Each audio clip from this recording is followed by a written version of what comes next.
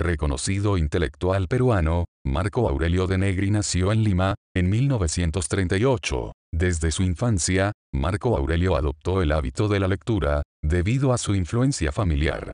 Tras terminar la secundaria, en el Colegio San Andrés, estudió Derecho en la Universidad Nacional Mayor de San Marcos. Posteriormente, realizó estudios sobre sociología y sexología. En la década del 60, Marco Aurelio dio diversas conferencias sobre cultura y libertad. Luego, a inicios de los 70, fue director de Fascinum, revista científica y artística de cultura sexual.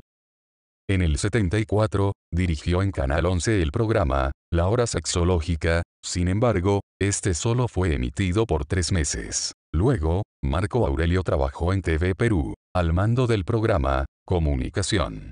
En 1981, fue conductor del programa, Contrapunto, debatiendo con destacados intelectuales de la época.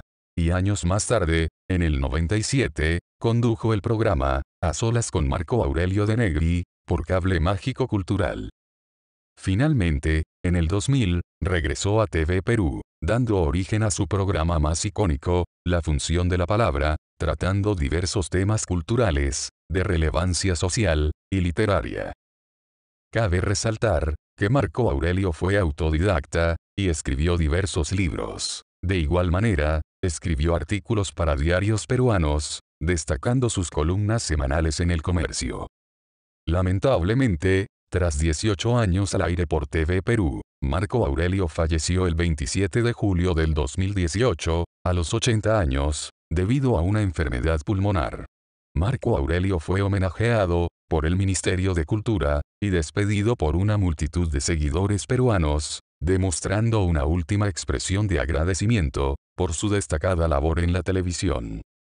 Sin lugar a dudas, Marco Aurelio es un peruano a ser recordado por las futuras generaciones, y hasta la actualidad su programa, La Función de la Palabra, es emitido, por TV Perú. Si te gustó el video, compártelo y suscríbete para más videos. Cualquier sugerencia es bienvenida para un próximo video. Gracias.